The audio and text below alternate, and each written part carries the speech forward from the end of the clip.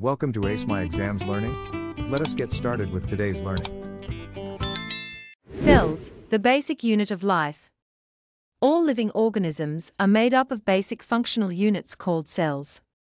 Each cell contains specialized structures known as organelles that work together to perform the various functions required for survival and growth.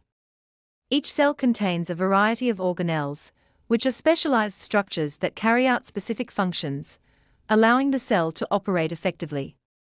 Key organelles and their functions include the cell wall, cell membrane, and others which we're going to discuss in more detail. The cell wall.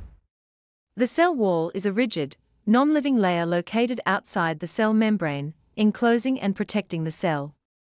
This structure is found only in plant cells, distinguishing them from animal cells, which lack a cell wall. The cell wall's primary layer, known as the primary cell wall, is situated on the outer side of the cell membrane. Functions of the cell wall The cell wall performs the following functions 1. Support and protection. The cell wall acts as a support structure, safeguarding the internal, living contents of the plant cell. 2. Rigidity. It provides rigidity and structural integrity to the plant cell, helping it maintain shape and resist external pressures. 3. Permeability. The cell wall is fully permeable to water and mineral salts, allowing essential substances to pass freely through to the cell membrane. Cell membrane. The cell membrane is an essential part of every cell, forming the outer living boundary of the cytoplasm. This structure is present in all plant and animal cells. According to the fluid mosaic model, the cell membrane consists of a double layer of phospholipid molecules with large protein molecules embedded within the layer. These phospholipids create a barrier that is semi-permeable, meaning it only allows certain substances to pass through. The embedded protein molecules play an important role in the membrane's function and help the cell interact with its environment.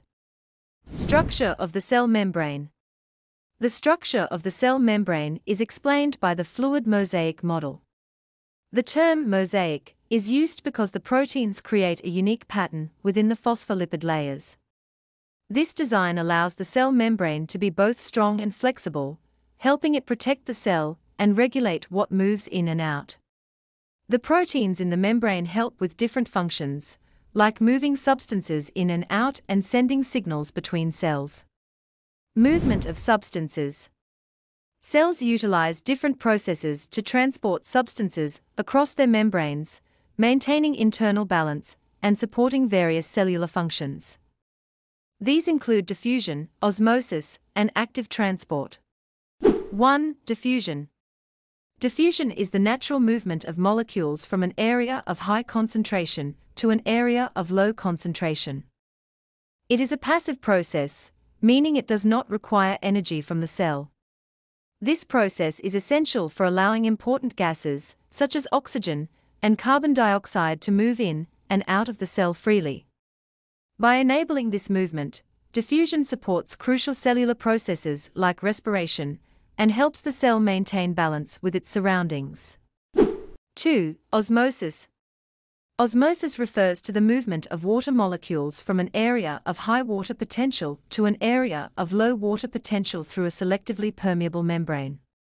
Like diffusion, osmosis is a passive process that does not require energy. Osmosis is vital for maintaining the water balance within cells.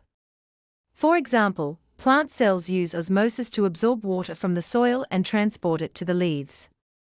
This movement of water helps keep plant cells firm, supporting their structure, and allowing the plant to stay hydrated and grow properly. 3. Active transport. Active transport is the movement of molecules from an area of low concentration to an area of high concentration, going against the concentration gradient. Unlike diffusion and osmosis, active transport requires energy, usually in the form of ATP, because the cell must work against the natural flow of molecules. This process is crucial for absorbing nutrients such as ions and minerals, even when these substances are in lower concentrations outside the cell. Active transport helps cells gather the materials they need to function properly, despite external conditions. The ATP, or adenosine triphosphate, is a molecule that serves as the primary energy source for cells. In the context of active transport, ATP provides the energy required for cells to move ions and other nutrients across their membranes, especially when these substances are in lower concentrations outside the cell. Active transport relies on ATP to power the movement of these substances against their concentration gradients, allowing cells to absorb essential materials needed for proper function. The fluid mosaic model. The fluid mosaic model, as illustrated in the diagram, depicts the cell membrane as a flexible, dynamic structure composed of a phospholipid bilayer, hydrophilic heads, hydrophobic tails, proteins, and carrier proteins. The model illustrates the structure and function of the cell membrane, emphasizing its flexibility and varied composition.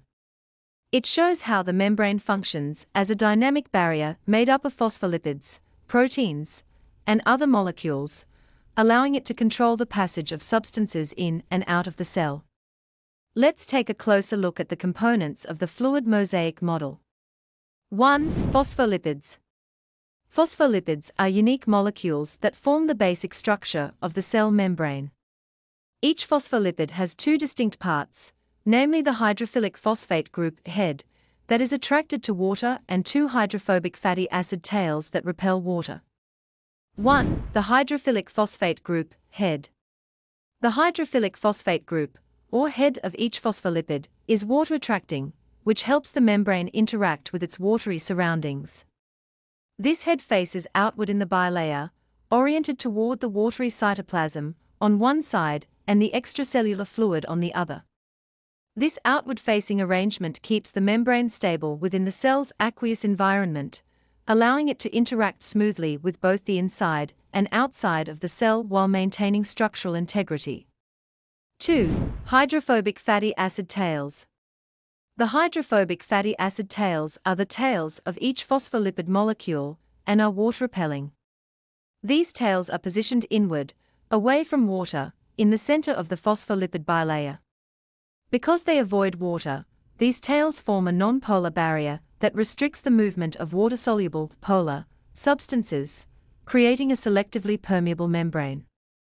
This inward-facing orientation of the tails is crucial for the cell's control over what can pass through the membrane. Only specific substances, like small, non-polar molecules, can easily cross this barrier, while larger or charged molecules require assistance from transport proteins. 3. Proteins in the membrane. Proteins embedded in the phospholipid bilayer give the cell membrane its mosaic quality, with each type of protein playing a specific role in the cell's functions. Let's look at how each protein type helps the cell to interact with its environment and regulate the movement of substances.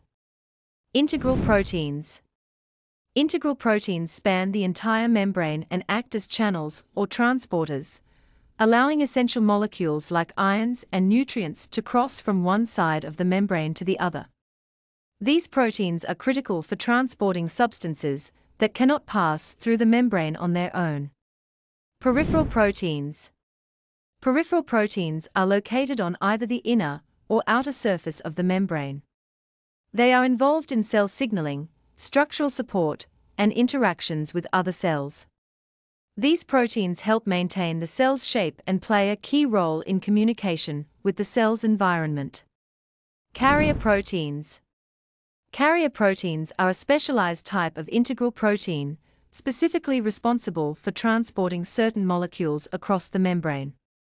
These proteins bind to specific molecules, such as glucose or ions, and change shape to move them through the membrane. Carrier proteins facilitate the cell's selective permeability, ensuring that only necessary molecules can enter or exit the cell, while unwanted substances are blocked, to maintain a stable internal environment that allows the cell to function efficiently. To access more learning and exam preparation materials, go to www.acemyexams.coza. This link is also in the video description below. Thank you for watching this video. Remember to subscribe and be the first to know when we upload new videos.